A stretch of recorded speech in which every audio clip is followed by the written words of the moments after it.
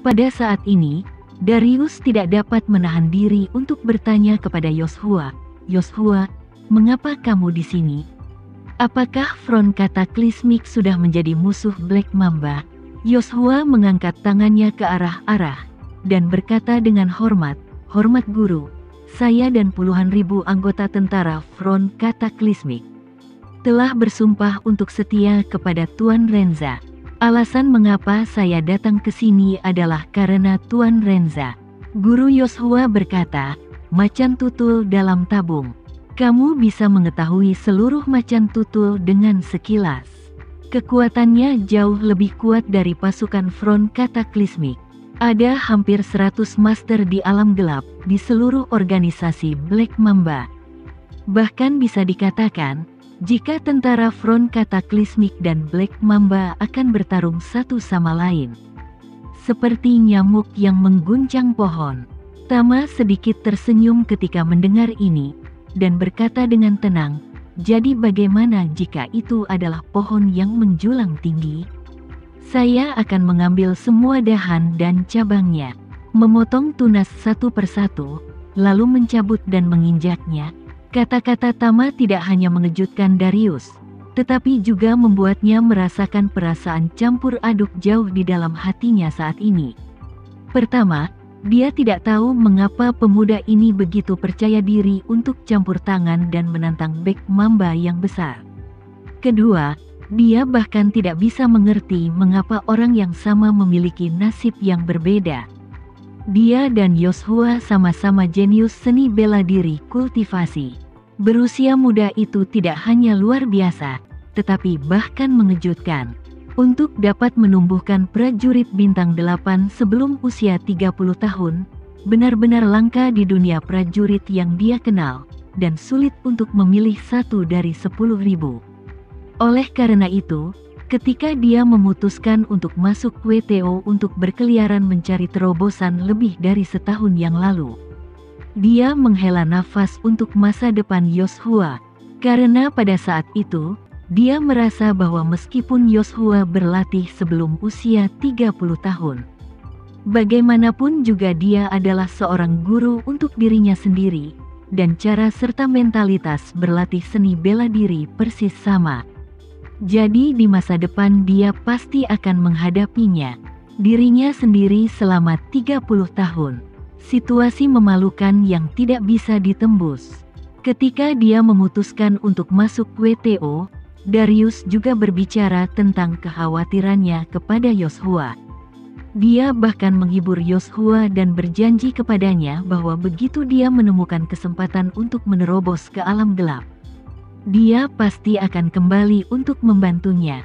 Namun, siapa sangka ketika dia mengambil keputusan mengambil racun dan bergabung dengan Black Mamba. Dan dengan penuh semangat menunggu kesempatan untuk memasuki kamp prajurit, dan kemudian bersiap untuk menghabiskan setidaknya 10 tahun di kamp prajurit untuk mencari terobosan. Muridnya Yoshua, ia telah melangkah ke langit dan melangkah ke dalam kegelapan. Kesenjangan psikologis yang sangat besar ini membuat Darius merasa sangat tidak nyaman. Bahkan saat menghadapi Yoshua, dia tidak bisa menahan perasaan sedikit malu di hatinya. Perasaan bahwa tuannya diambil alih oleh muridnya benar-benar membuatnya merasa campur aduk. Yoshua juga dapat melihat kesepian di wajah gurunya, dan segera berkata, Tuan, Tuan Renza adalah orang dengan kekuatan gaib yang nyata, dan dia juga kepala keluarga Renza. Saya percaya bahwa dengan Tuan Muda Renza kekuatan dan potensi di masa depan, tidak akan ada masalah untuk membasmi Black Mamba. Selain itu, Tuan Muda Renza murah hati, membalas keluhan dengan kebajikan, dan meyakinkan orang lain dengan kebajikan. Saya telah memotong semua meridian di awal, tetapi itu adalah Tuan Muda Renza yang membantu saya sepenuhnya memperbaikinya. Hanya dalam waktu sebatang dupa, saya melewati batas. Memasuki kesempurnaan alam Min, saya bisa masuk ke alam gelap, dan semuanya selesai oleh Tuan Muda Renza. Jika guru mau, guru juga dapat memberikan kesetiaan kepada Tuan Muda Renza, dan bersama dengan saya, membantu Tuan Muda Renza mewujudkan keinginan besarnya. Ekspresi Darius sangat rumit. Dia juga tahu bahwa bergabung dengan Black Mamba adalah yang terburuk dari strategi terburuk. Jika dia tidak dapat menerobos selama beberapa dekade dan membunuhnya, dia tidak akan mau menderita penghinaan seperti itu. Antara lain, ketika dia berada di tentara front kataklismik, meskipun dia bukan pembicara yang sebenarnya, dia adalah seorang patriark yang dihormati oleh semua orang, dan prestisnya bahkan lebih tinggi daripada Yoshua. Tapi setelah bergabung dengan Black Mamba, dia tidak lebih dari seorang budak dari Black Mamba. Statusnya tidak lebih dari seorang penjaga di sebelah komisaris. Sepertinya dia berada di bawah satu orang dan di atas ribuan orang di sini. Namun nyatanya dia tidak memiliki komando atas para penjaga dan tentara yang berkorban mati dan dia tidak punya bawahan, dia hanya membiarkan komisaris memanggilnya. Belum lagi sekarang, dia telah menjadi tawanan Tama sampai batas tertentu.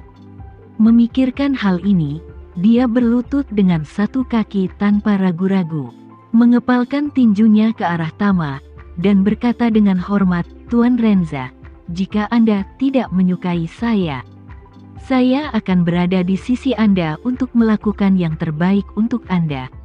Tama sedikit mengangguk dan bertanya kepadanya, apa syarat bagimu untuk berbicara dengan utusan komisaris? Apakah dia berjanji kepadamu berapa lama waktu yang kamu butuhkan untuk menjadi penguasa dunia gelap?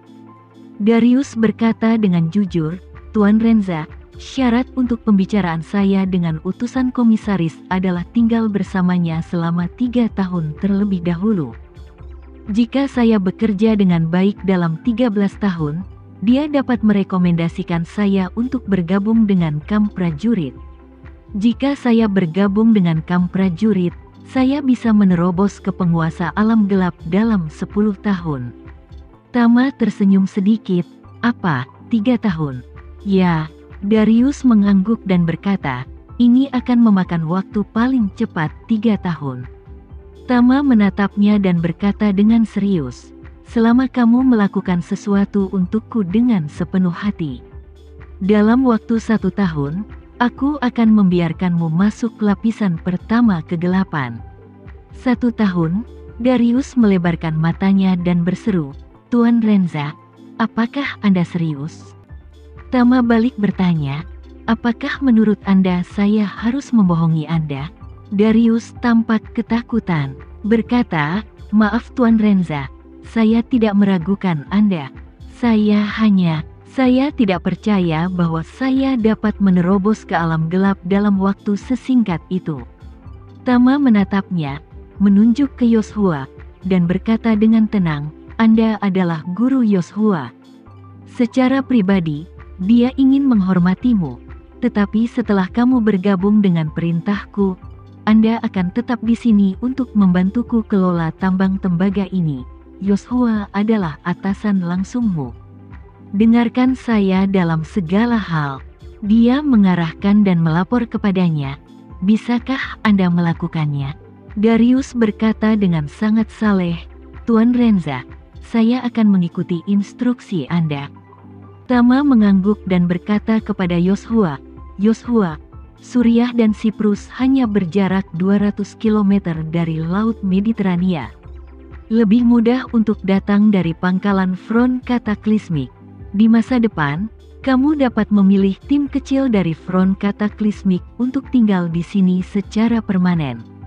Pastikan semuanya di sini terkendali dan ada pergerakan tepat waktu.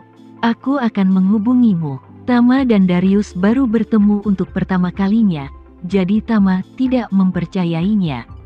Hanya berdasarkan ketidakegoisannya pada Yoshua saat itu, dapat disimpulkan bahwa watak orang ini tidak akan pernah buruk.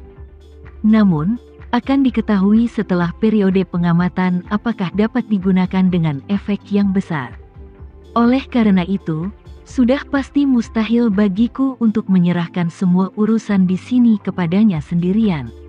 Yosua secara alami memahami kekhawatiran Tama, dan apa yang dikatakan Tama barusan memang sangat objektif. Secara pribadi, dia adalah gurunya, tetapi di depan umum, dia akan menjadi bawahannya di masa depan. Dia juga harus tegas dengannya.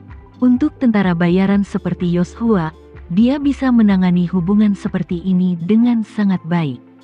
Di ketentaraan, selalu ada beberapa peran yang mirip dengan pemimpin regu lama, Ketika rekrutan adalah telur, mereka berada di bawahnya, diajari dan diasuh olehnya. Tetapi seiring berjalannya waktu, pemimpin regu lama mungkin masih regu lama. Tetap seorang pemimpin, tetapi seorang rekrutan baru mungkin telah menjadi perwira senior di ketentaraan secara pribadi. Pemimpin regu lama adalah pemimpin regu lama yang selalu layak dihormati. Tetapi di depan umum, Bawahan adalah bawahan, dan mereka tidak berbeda dari bawahan lainnya.